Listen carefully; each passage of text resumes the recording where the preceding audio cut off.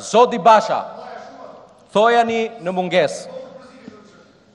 Zoti Basha, ti ke takuar, ti ke takuar para dy ditësh një prej këshilltarëve të grupit të CDU-s të CSU-s. Ndërkohë që ne sapo kemi takuar pardje Do ta quaja figurën më historike të kristiandemokratëve gjermanë, deputet prej 47 viteve, ministër në disa portofole, sot kryetari, presidenti i Bundestagut, Wolfgang Schäuble, të cilin gjej rastin ta falenderoj këtu nga kjo foltore për një pozicion shumë të qartë. për mbështetjen tërësore të hapjes negociatave të Bashkimit Europian me Shqipërinë dhe Maqedoninë. E po ia them unë, në Bundestagun gjerman, me gjithë përpjekjet tuaja antishqiptare, ka një shumicë, ka një shumicë bindëse në favor të hapjes negociatave. Jo vetëm grupin e CDU-CSU-s, Por, sigurisht socialdemokratët me me dy portofolje të rëndësishme përveç të tjerave që mbajnë, qoftë ministrin e jashtëm Heiko Maasin, qoftë edhe Michael Rothin si ministër i shtetit për Europën, por edhe grupet e tjera. Madje edhe grupet që janë opozitë, si liberalët e FDP-s apo si të gjelbrit Dhe sigurisht edhe e majta Die Linke. Mbështesin hapjen e negociatave me Shqipërinë, sepse e shohin, e shohin këtë proces, një proces që duhet të vazhdojë, ëndrra europiane për Ballkanin Perëndimor duhet të mbizotërojë, mbi ankthet nacionaliste në Europë, dhe pas përfundimit zgjedhjeve europiane të 23, 26 majit, Komisioni dhe më pas Këshilli do të hapë dritën jeshile. E në këtë proces, ju jeni ftuar të kontribuoni. Kontributi juaj i vetëm meqë citove Michael Rothin, po ta them, ju keni marrë një mesazh shumë të qartë, Lulzim, ku je Lulzim? Ke marrë një mesazh shumë të qartë nga Partitë Popullore Europiane, edhe nga kristiandemokratët gjermanë. Duhet të vish të votosh reformën zgjedhore. Një reformë zgjedhore të cilën e kemi bërë me një asistencë të vyer të qeverisë gjermane përmes dy fondacioneve. Konrad Adenauer Stiftung dhe Friedrich Ebert Stiftung. Të dyja, të cilat financuan dhe për fat të mirë angazhuan dy ekspertë ndër më të mirët në vend, duhet ta pranojmë, që vijnë nga radhët tuaja Dy ish ministra drejtësie, njëri prej tyre ish kryeministër, ish zëvendës kryeministër, zoti Rusmali, dhe zoti Gumi, të cilët kanë bërë një punë të shkëlqyer. Drafti që kemi sot është drafti komprehensiv i të gjitha rekomandimeve të OSBE-ODIHR-it në tre palëzire. E pra, ajo që është shumë rëndësishme, ajo që është shumë rëndësishme sot, është që ne Të votojmë së bashku. Sa për ëndrrën tuaj, se duke bllokuar reformën zgjedhore, mund të bllokoni hapjen e negociatave, Këshilli i 28 qershorit e ka thënë shumë qartë. Mazhoranca duhet të depozitojë një draft për reformën zgjedhore. Ky është kushti, ky kusht është realizuar. Nëse doni të merrni pjesë në zgjedhje, Merrni apo s'merrni ky është vendimi juaj. Hajde votoni. Shqipëria i ka përmbushur të gjitha detyrimet për të hapur negociatat dhe të jeni të sigurt me apo pa dhe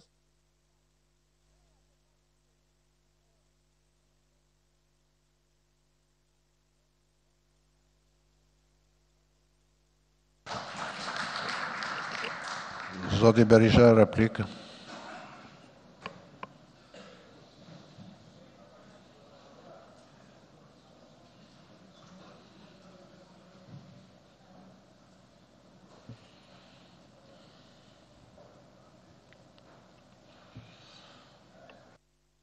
Parafolësi është një nga faktorët kryesorë të bllokimit të hapjes negociatave. Dy minuta për zotin Berisha. Me udhëtimin që ka bërë 58 herë me Edmond Begon dhe e njeh e gjithë Europa tani me këtë mbiemër. Për sa i përket për sa i përket problemeve dua të sqaroj shqiptarët. Lidhja energjetike prej dy vitesh mbahet peng Nga Aleksandar Vuçiç, miku i shtrenjtë i Edi Ramës, por në këtë parlament akuzohet njeriu që garantoi projektin, financat, bëri dhe tenderin dhe e la të gatshëm fillimin e punimeve, Sali Berisha, e bën në emër të Vuçiçit. Për sa i përket Bosnjës, Bosnja nga qeveria shqiptare dhe Kroacia kanë marrë gjyle dhe barut, kanë marrë barut dhe gjyle kundër serbëve. Për sa i përket tezave të argatëve, edhe një herë them, Loja që bën Edi Rama për karrigen e tij, përbën një kërcënim të madh serios për sigurinë kombëtare dhe është fund e krye lojë në favor të Serbisë së Madhe dhe do u lexoj këtu këto fjalë, më falni ju lutem. Intervistën e fundit të Aleksandr Vuçiç se çfarë thotë miku i ngushtë i Edi Ramës. Nuk i kam marrë nga libri i Çubrilloviçit këto. Fjalimi i tij para tre ditësh.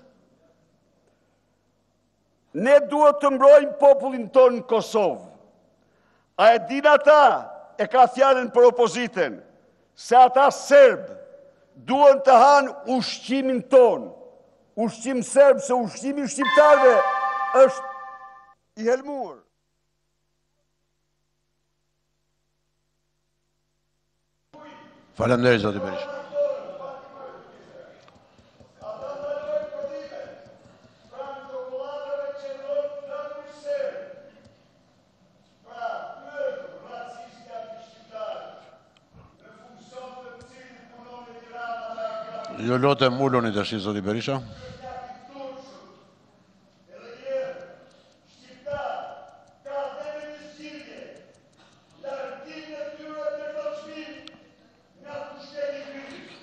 Fjala për...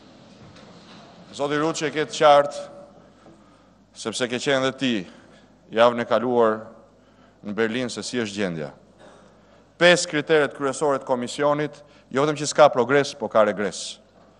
Korrupsioni është zhytur më thellë, dhe këtë e tregon Transparency International, Lufta kundër krimit të organizuar është ku thërret qameti sepse ju kanë kapur në flagrancë duke bashkëpunuar me bandat e krimit të organizuar për të ardhur në pushtet dhe për të mbajtur pushtetin. Administratën publike, po kështu jua nxori Zëri i Amerikës se si i bëni emërimet. Vendi është në krizë ekonomike, të drejtat dhe liritë e qytetarëve i dhunoni në mënyrën më të pacipë, nga Unaza, në Shkozë, në Himarë, tek teatri, Pra ju jeni damkosur si pengesa kryesore për integrimin europian të vendit. Zgjidhja jonë politike, të cilën edhe njëherë ua ofroj jo kukullave të krimit, por socialistëve të ndershëm, nga pozitat e kundërshtarit politik, është një qeveri tranzitore, pa këtë kryehajdut të kapur në flagrancë, e cila jo vetëm do të zhbllokojë pengmarrjen e demokracisë, kësaj salle, kësaj qeverie që merr vendime vetëm për një pakicë oligarkësh, hajdutësh dhe kriminelësh, por është shansi i vetëm sa më herët ta bëjmë të zhbllokojë edhe integrimin europian të vendit hapjen e negociatave. Që do bëhet, do bëhet. Në qofë se nuk arrijet për mes një marveshe politike dhe një herë po ju them populli do vijë ta çlirojë këtë sallë dhe institucionet. Do t'i fshi ministrat dhe deputetët dhe politikanët e lidhur me krimin. Po në qoftë se keni një fije ndërgjegje, thirrini arsyes, kujtoni se çfarë ju thanë Berlin, hapini rrugë zgjidhjes politike që të kemi të paktën një shans sado të vogël, ta mbaroj mendimin t'lutem.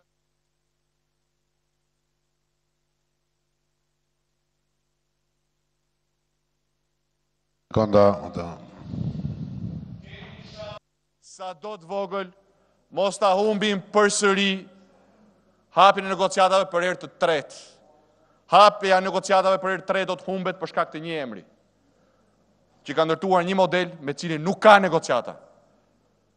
Jua bëj këtë jo si kërcënim, por si thirrje atyre që me të vërtetë e ndjejnë përgjegjësinë politike edhe pse janë kundërshtarët tanë. Thirrini arsyes përndryshe nuk do t'i lini asnjë rrugë tjetër qytetarëve përveçse të marrin fatin e tyre në duart e tyre, të marrin institucionet e tyre në duart e tyre, se në dorë të krimit, të oligarkëve, të hajdutëve nuk kanë për të qëndruar më Çfarëdo që të bëni e të thoni? Flamur Noka, 2 minuta. Ulu zoti Naço, do ta jap fjalën, po pas këtyre ka kërkuar zëvendëskryeministri, kështu që mos humbni durimin.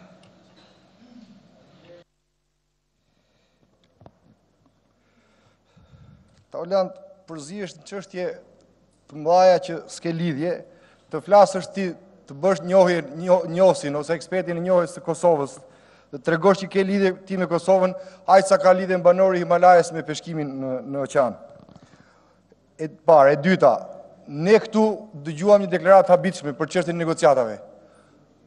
A kemi qenë këtu vjet ne kur kryeministri tha, ja ku i keni, negociatat janë hapur pa kushte. Pa kushte, tashti me datën 29 të 11 2016-ës, kryeministri na ka thënë këtu ne dhe gjithë shqiptarëve, negociatat janë hapur pa kushte. Ky zotëria na thotë do hapen negociatat, do na sqaroni, a janë hapur negociatat? A do hapen? A ke mashtru, a ka mashtruar kryeministri? Apo ti je një gënjeshtar i vogël? Na e ndani këtë tashi, a janë hapur, a s'janë hapur negociatat? Kanë qenë këtu mediat, e kanë parë gjithë shqiptarët, ka qenë opozita, që thoshte nuk janë hapur negociatat dhe nuk po ju hapen negociatat. Ka qenë kryeministri që na ka thënë janë hapur, ja ku e keni. Apo do e hapni prapë për së dyti ju, se ndodh herë pas here kjo.